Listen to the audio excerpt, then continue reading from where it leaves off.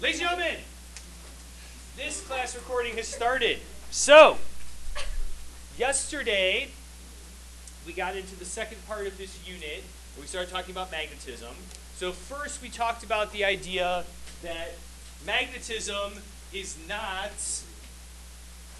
a relatively modern concept, right? That people have known that things are magnetic for a really long time. Not really how it worked or why it worked, but that they were. So then we get into the question of, well, what's going on? So we started off, right? Magnets always have two poles. We call one pole the north pole, we call one pole the south pole, right? And that even if we have a magnet, if we break it in half, we get two smaller magnets, not a separate north pole and a separate south pole, right? There's no such thing as a magnetic monopole. And similarly to electric charge, right? Like poles will repel each other, opposite poles will attract each other. And we talked about that in order for that attraction and repulsion to occur, there needs to be a magnetic field. There needs to be an area surrounding a magnet where it has the ability to move or change or interact with other magnetic objects. And it surrounds a magnet. We said that we still use field lines, these arrows, to represent that field, that they run from the north pole of the magnet to the south pole of the magnet. And if we look at some instances where we get magnetic things, we can see that the way that these magnetic things interact shows those field lines going from one side to the other. And then we talked about that the Earth produces a magnetic field, which is similar to the magnetic field of a bar magnet, but, right, and we had to flip our thinking around because we came to the realization that if the north pole of this magnet, right, points towards the north pole of the Earth, or the north geographic pole of the Earth, right? That really has to be the south pole of the magnet Earth, right? So we have to distinguish between the north geographic pole and the north magnetic pole. And that if north magnet or the north side of magnets points towards the north pole, that means the north pole of the Earth, sorry, the north geographic pole really has to be the south magnetic pole. Right? Good with that? And we got to the idea that we have evidence in the geological record, right? The rocks that we find on the ocean floor and other parts of the world, also like you know, fossil records maybe and things like that, that the magnetic field of the Earth has flipped on several occasions over the history of the Earth. That what is now the north geographic pole and the south magnetic pole will eventually become the north geographic pole, because that's not going to change, but it will also become the north magnetic pole. Right? And so we discussed, I don't know, maybe we didn't discuss, but some people asked before, is anything really going to change for us when that happens? That if the Earth suddenly flips its magnetic field and it's different, does that really change anything about the way we live? What would happen to this magnet? It would do that, right? Does that really affect your life any differently? Not really, right? Technically, your compass is wrong now, but you know, go the other way, I guess, or make a new compass. But right, so that really doesn't affect the way that we live our day-to-day lives all that much, but it will happen eventually, or at least we think it will happen eventually. So that then leads us to the ultimate question. Why are things magnetic? Because I don't think we got to this yesterday, right? So starting off, anytime we have something that has an electric charge, it could be something as small as a single electron or a single proton. But if that electric charge moves, it creates a magnetic field. and we will talk about that a little bit later on today in more detail and what that electric field looks like. So within an object, we have several things that are magnetic, but not every object itself we classify as magnetic. And it has to do with these very small sections of our object, which we refer to as domains.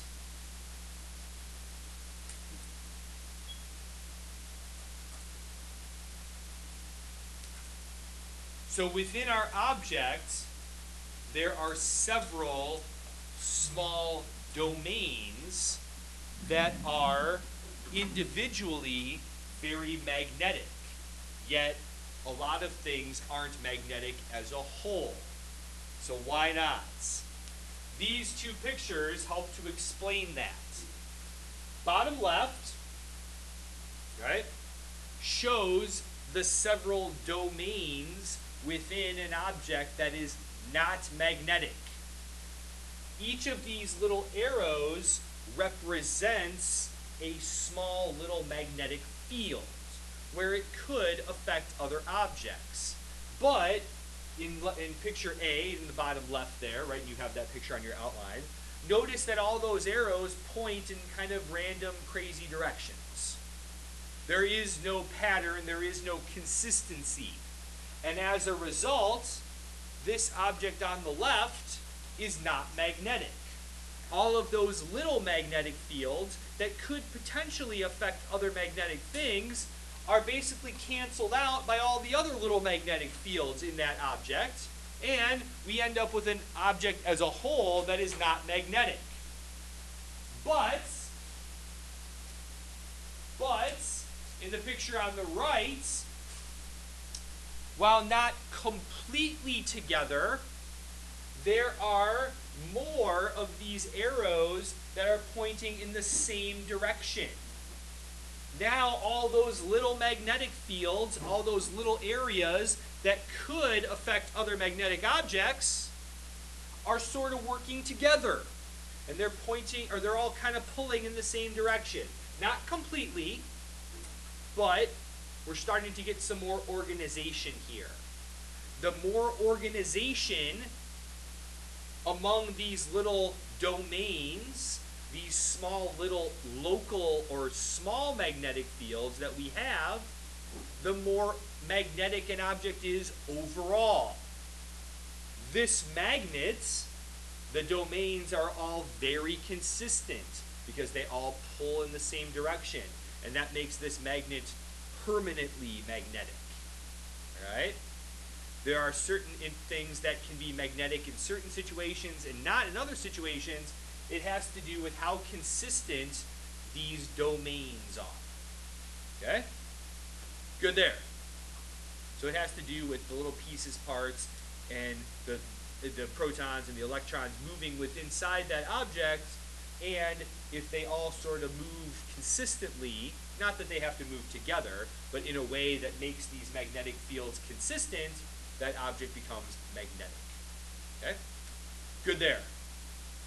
All right.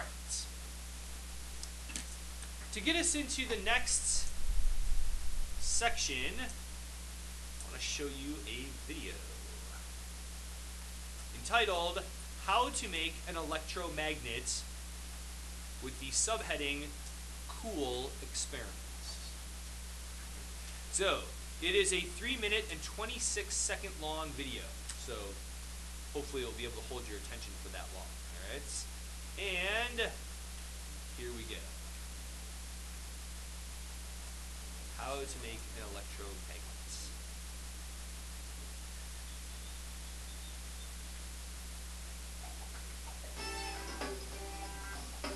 Hello, my name is Dr. Gareth Francis, and I believe science should be fun. My company, Work Working Science, provides school workshops, after-school clubs, and even science parties. Today, we're going to show you some fun science that you can do at home. Today, we're going to make an electromagnet. An electromagnet is a material which, when you put a uh, when you put a current through it, it can act as a magnet. You can turn it into a magnet. Okay, so electromagnets need to be made out of steel or iron, okay, because magnetic fields work in steel and iron, and you need, these are the sort of things you need to make it with. You need some crocodile clips, a 9 volt battery, some steel nails, and some garden wire that's quite thick and stays in the position that you put it. Now an electromagnet, this is an electromagnet that you could buy. All it is is a coil of wire around some iron. That's all an electromagnet is. And then if you attach it with some crocodile clips to a battery, it'll pick up. Early, I tried to make sure I was hanging around with the right people. Those are people that push the real best and tell you that you can make in control. Let's just I always thought that it was gonna to get back, get all these kids hold. I know. Why is it just right in the middle of my electromagnet video? It's- things which are made of iron. Okay, so turn the battery off. Interesting. Disconnect the battery. So, an electromagnet is a magnet which isn't magnetic unless you put a current through it.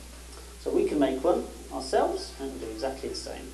Take our nail and we'll take our wire and we coil it around the nail. Wind it all the way around as tight as possible.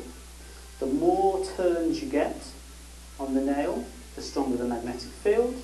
The closer together the turns, the stronger the magnetic field, and the more current you have in it. So the, the better battery you have, a 9 volt battery will give you quite a lot of current. The more current you have, the stronger the magnetic field as well.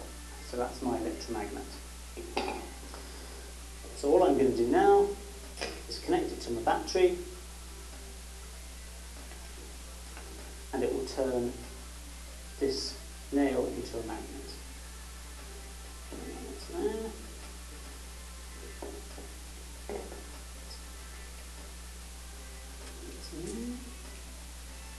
It's the current. It's an interaction between the electric uh, field produced by the current um, that produces the magnetic field. So that goes into there. There, the current's now running through the wire. Use up with the electromagnet. And the stronger the current, the stronger the current, the stronger the magnet is. And the more turns you have, so you put more turns on it, it makes the magnet stronger as well. That's a very simple electromagnet that you can make. If you leave it connected too long, you'll find that the wire starts to get hot. So just be careful. And that's how you make an electromagnet.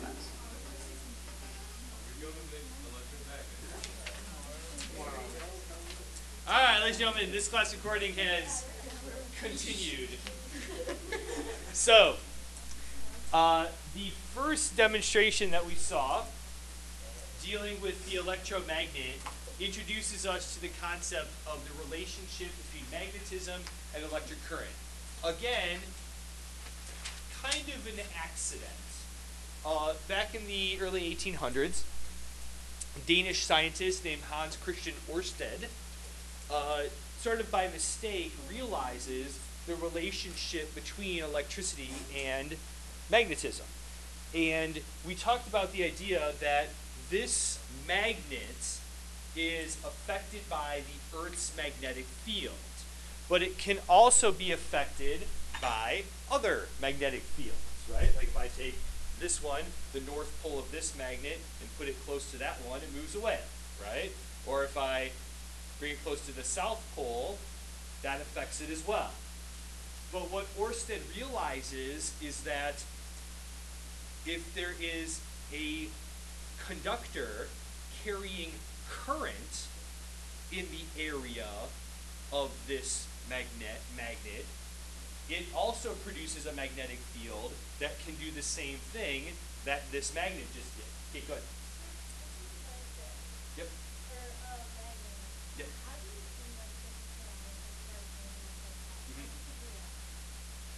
You could, right? Now, you can't just put it on a table because it won't spin because of the friction on the table.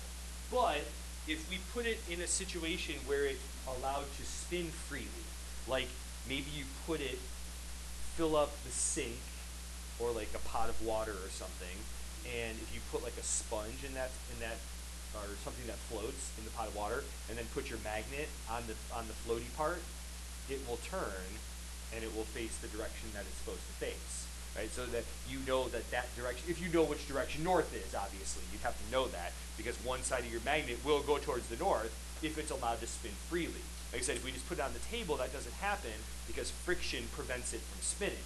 But if you could reduce the amount of friction that allow it to allow the magnetic field to interact, right, or move this object because of the interaction, you could figure it out that way. So. All right, so. Oh, too far.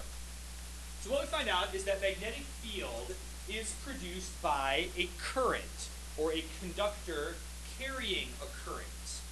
But unlike a bar magnet where the field loops from one side to the other, the magnetic field actually quote unquote circulates around the wire carrying current. And instead of being a loop that starts on one side and goes to the other, it's actually a circle that surrounds the wire that is carrying the current. Now, just like we saw in the video though, if there is no current, that field does not exist. So if you disconnect the conductor to whatever voltage source is causing the current, those, that magnetic field would go away and it wouldn't show the interaction with the other magnetic objects. Okay? So we can figure out the direction of the field in one of two ways. First, you can see how it affects compasses or how it would affect other magnetic objects, right? Just like we would, you know, see that interaction between these two magnets, okay? That placing several compasses around the wire shows that the field is a circle, but it also shows how that arrows would be drawn to represent the direction of the field. And what we find out is that we can summarize the direction of the field by something that we call the right hand rule. Alright? And that's number one underneath letter D. Okay? And I'll show you how that works in just a second.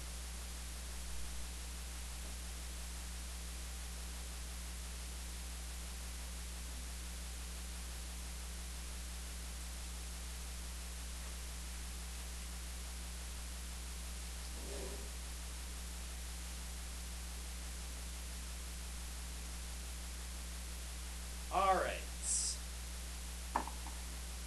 So for demonstration purposes, take your pencil or your pen and hold it up in front of your face horizontally.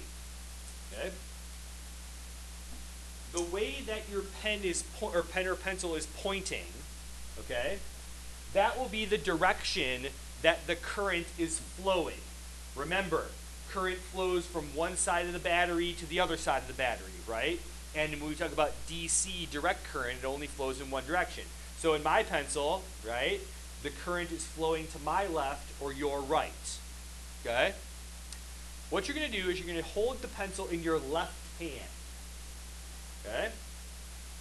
And then with your right hand, okay, you're going to point your thumb in the same direction that the pencil is pointing. Okay? Now, when you take your fingers, other way, other way. Either change your pen or change your thumb. So, so like this, right? Okay.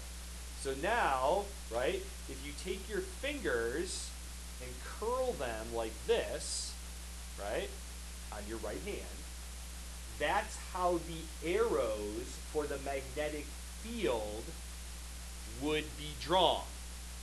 The way your fingers point. Okay? Because it goes in a circle around the conductor.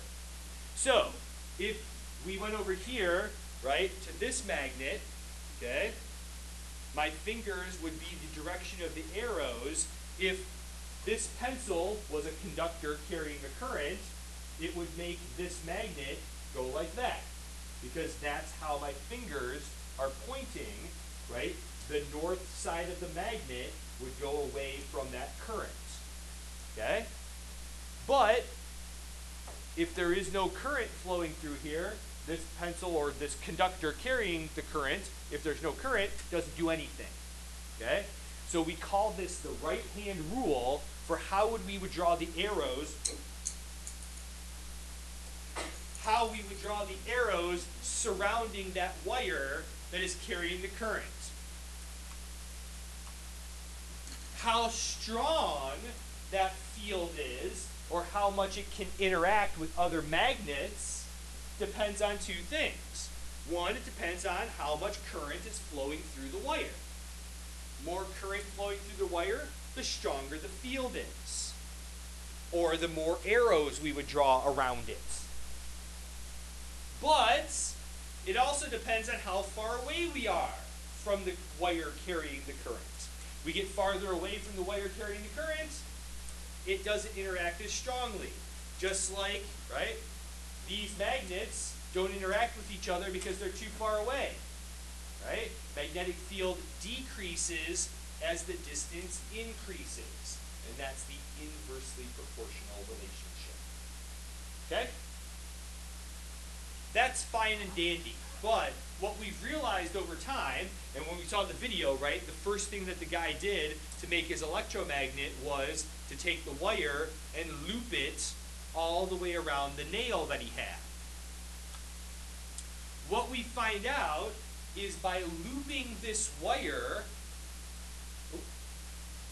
by looping this wire into a circle, instead of just making it a straight line wire, all of your fingers would always point towards the middle of the circle or through the middle of the circle.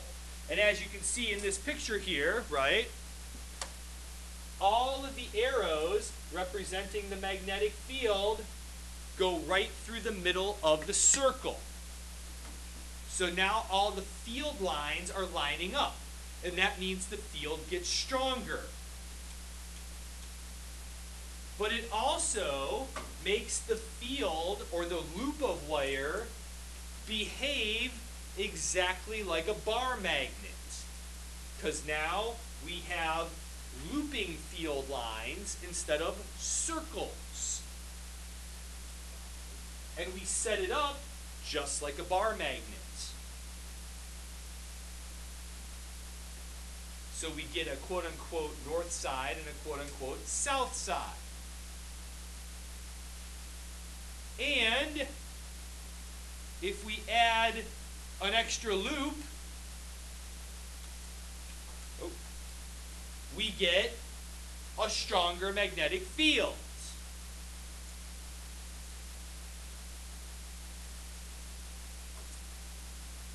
Right? If we have two loops that are carrying currents, now we end up with two magnetic fields, and that's better than one. And if 2 is better than 1, then 2 is better than 1, 3 is better than 2, right? If you make a bunch of loops, you get the combined effect of all of them. We refer to this as a solenoid. That's basically what the guy in the video was making, was a solenoid this coil of wire. And if you pass current through that solenoid, all of the magnetic fields that are created by each one of these loops all point in exactly the same way. And now we turn our solenoid into an electromagnet. Because it only works when the electricity is flowing.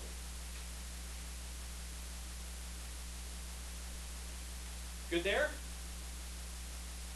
That's the gist of this outline. Uh, we'll look at a couple of these arrangements. Um, oh, on the back of on the back of the outline, you have the pictures there at the end of the solenoid and the current carrying, the loop carrying the current, right? Um, the other things there, we don't, we're not gonna worry about those too much, uh, but we will tomorrow get into how magnetism can affect currents. So there is a homework assignment on the calendar. Make sure we check it out. Also, like I said at the beginning of class, objective sheet for next week's test will be posted by the weekend.